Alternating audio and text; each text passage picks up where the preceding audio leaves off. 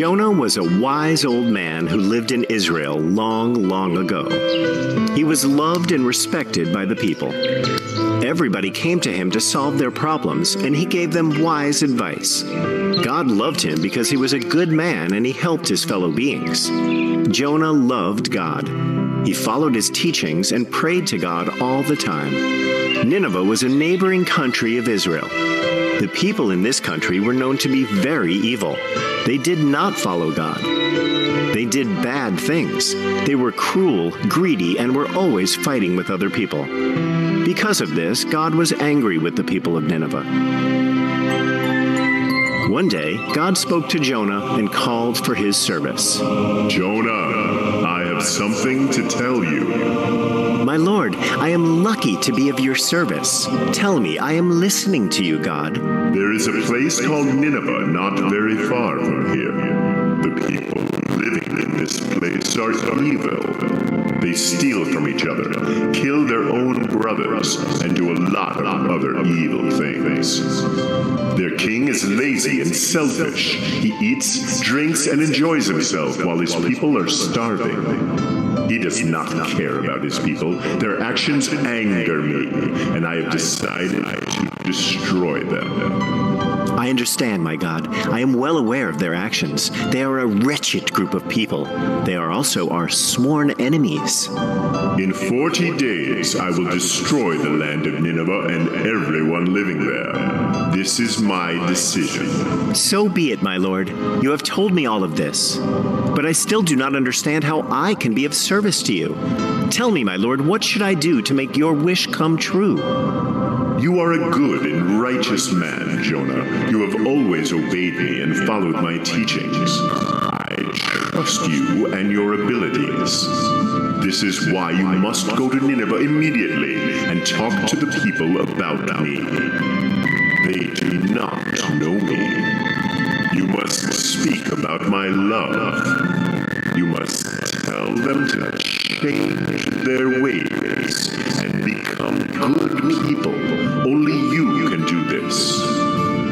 God, how will I do this? They are evil. They will not listen to me. Also, they are our sworn enemies. The people of Nineveh are constantly attacking us and waging war against us. They try to steal from us and harm our women. That is all true. But still, you must go and talk to them. They will have a second chance through you. If they fail, they will be destroyed. You are their only hope for survival now. Only you can convince them to change their ways and turn to me, the one and only living God. I have complete faith in you. God, you have decided to destroy them anyway after 40 days. Then why should I go there and risk my life? My countrymen will be more than happy to hear that Nineveh is going to be destroyed. They will abandon me if they hear that I tried to stop that from happening. This is my will. You must do this, Jonah. You must leave for Nineveh immediately. Very well, my lord. As you wish. Jonah was very troubled by what God had asked of him. He was happy that God had decided to destroy the people of Nineveh. They were the enemies of Israel. He did not believe that he could change their ways. But then, how could he disobey God? Jonah finally decided he would not go to Nineveh. He got scared and decided to escape from Nineveh and hide from God. Jonah traveled far from Nineveh over the deserts and barren lands.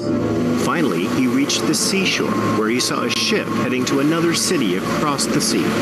He asked the captain whether he could get on the ship. The captain was not happy at first, but finally agreed. The sailors did not know about the one true God that Jonah served and believed in. They worshipped stone and wooden idols.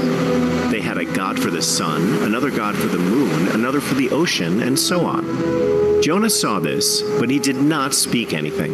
He went and slept in the lower part of the ship. Jonah was fast asleep in the lower part of the ship. Once the ship had traveled a short distance, the ship got caught in a great storm. They were tossed around in the water like a paper boat. Everybody on the ship was very scared and began to cry out loud to their gods. The men on the ship were surprised to see Jonah sleeping peacefully while a great storm was raging outside. Hey, Jonah, wake up! Wake up! How can you sleep like this? There is a storm outside and the ship is going to be torn apart. Wake up and pray to your God. We have been praying to our gods for some time now, but the storm is continuing to rock the boat. No, this is the work of my God, the one and only true God who made the whole world. Did you do anything to make him angry? How can we stop the storm? I tried to hide away from him. He gave me a task, but I refused to do it. That's why he's angry at me. Now, what should we do? There is nothing else to do. You have no other option but to throw me off the ship, and then the storm will go away. My God will leave you alone. No, we cannot do that. You're a good man. We don't want to harm you. Let us try to throw some of the cargo out and see if we can keep the ship afloat. The sailors started throwing out the packages loaded on the ship one by one, but the storm did not go away. There is no use in doing this. Throw me into the water. Save yourself. I hope your God keeps you safe. When the sailors realized that they had no other option, they threw Jonah off the ship into the sea. And like a miracle, the storm subsided. The sea was calm all of a sudden. Just at that moment, a big whale came up and swallowed Jonah. Jonah was scared like never before. He was in the dark and cold. There was a horrible smell around him. Also, it was slimy and all kinds of things were floating around him. It was then that he realized that he was inside a whale. Jonah could not believe this was happening to him, but realized that God was doing all of this. Jonah spent three days and three nights in the belly of the whale. He prayed the whole time to God. He was asking for forgiveness and promised that he would never try to hide away from God. Jonah would lose hope from time to time and thought he would never see daylight again. He thought about the foolish things he had done. How could he believe that he could disobey God and hide from him? This was so stupid of him. Alone in the cold, dark insides of the whale, Jonah became very sad. But he called out to God, and it gave him strength. He believed that God would keep him safe. On the fourth day, the whale opened its mouth and spit Jonah onto the beach. Jonah was relieved to see the light of day. He had been inside the dark belly of a whale for three days. Then God spoke to him. Jonah, you cannot hide from me. Whatever you do, I am with you all the time. Am so sorry, my lord. I realize now how foolish I have been. Tell me what I can do to make up for this. Do as I told you. You must go to Nineveh and complete the task I gave you. They are evil because they do not know me. They have not heard of my teachings. They deserve a chance to change their ways and become good. I will do whatever you ask of me, my lord. I shall go and speak to the people of Nineveh about your undying love. This time, Jonah went to Nineveh as promised. He talked to the people about God and his kingdom. He talked about what had happened to him and how God had rescued him from the raging storm by sending a whale. He showed them why it was important to do good things and be kind to people. He taught them God's teachings and how God was protecting them and taking care of them at all times. He also warned them about God's punishment. To his surprise, the people of Nineveh listened to him. The king heard of Jonah and called him to the palace. Jonah talked to the king about how God was merciful, but that if he didn't change himself, then the city of Nineveh would be destroyed in 40 days. The king asked for Okay, kids. What did we learn? Whom, whom did we learn about? Was it about Jonah? Yes? Yeah. And then was Jonah a good man? Yes, Jonah was a very, very good man. And then what did God ask Jonah to do? He, and Jonah was always listening to God and doing what God asked him to do. He was praying to God, he was doing good things. And then what happened? God told Jonah, Jonah, go to go to Nineveh because the people that are doing bad things. Can you go to Nineveh and tell these people not to do bad things? That's what God asked Jonah, right? Yes? That's what God asked. God asked Jonah to go to Nineveh. And then what did Jonah do? Did Jonah listen to God and go to Nineveh? Can you all put your fingers, hands like this and show with me? God asked Jonah to go to Nineveh. No, no, show like how I am doing it. Fold your hands like this and say, God told Jonah to go to Nineveh. But did Jonah listen to God? No. And where did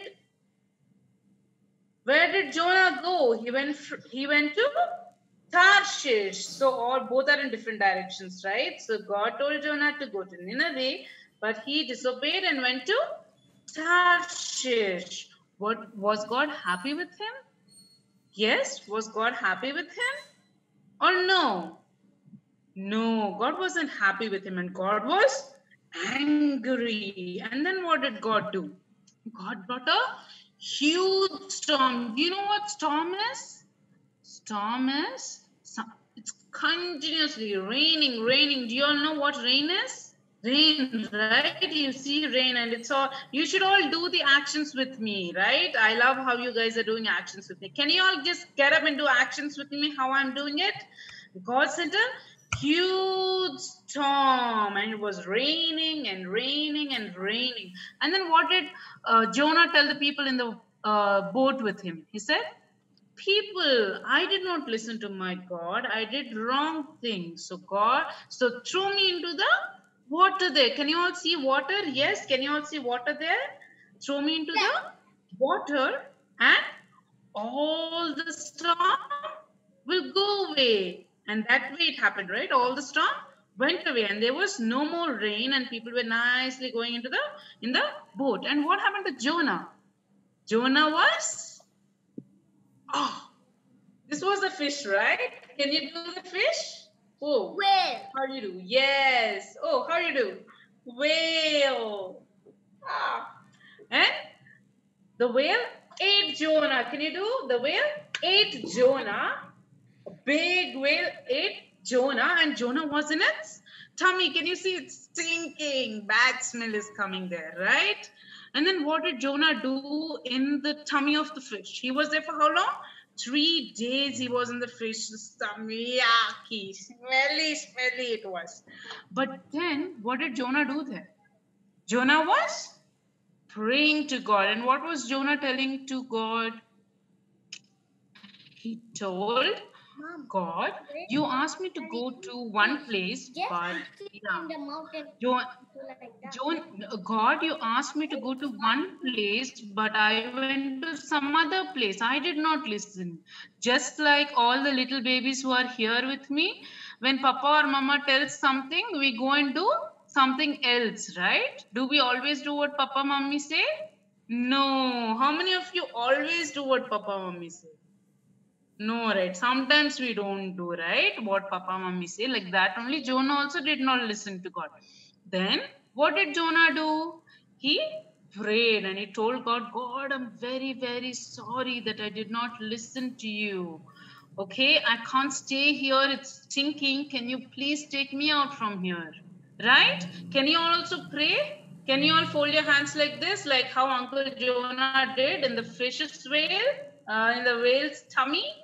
Like this, right? And he said, God, forgive me for all the bad things that I did, right? And what did God do then? What did God do? God said, Good man, Jonah. Even if you did wrong things, I am fine. I will forgive you, but because you prayed and you told me and you confessed. That is what confessing your sins mean that you pray and tell god god i have done wrong things and i am sorry. And if you say that to god he will forgive you right? Just like how god forgave uncle jonah. And what happened to uncle jonah? Can you all see here? Uncle jonah came out of the fish of the sorry it's not a fish fish is a small thing whale is a huge one right a huge whale And what did what did uh, the whale do? It again opened its mouth. Can you all open your mouth? Open the you open your hands like this, like how the fish opened its mouth, like this, and then Uncle Jonah came out of the fish's tummy. And then what did he do? He thanked God for bringing him out, right? And then he went back to again, he went back to Nineveh, and then he told those people that, see, if you don't listen to God, he will become angry and he will punish you. So you should always listen to God and do good things. But if you are not able to do good things and if you happen to do any bad thing, you can always pray and God is a good God, right? Is our God good? Can you all show me your fingers like this? If our God is good God? Yes. Can you all shout like this? God is good and he will forgive me, right? Yes. So this is something that you all have to remember that if you do anything wrong or bad and you do not listen to your parents, you should pray and tell God, God, I'm sorry. Can you please forgive me? Okay. And then he will forgive you just like how God forgave Uncle Jonah. And he just did not forgive Uncle Jonah. He also forgave the people of, he has also forgiven the people of Nineveh, right? Did you all enjoy this? Can we do uh, the Bible verse one last time? Can we do the Bible verse? Okay. 1 John, can you all do with me? 1 John 1 9. If we confess our sins, he is faithful and just, right? He is faithful and just, and He will forgive us all our sins. Say thank you, God, because God forgives our sins, right? Say thank you, God. Thank you, all children, for joining and have a great session at your activities. Okay.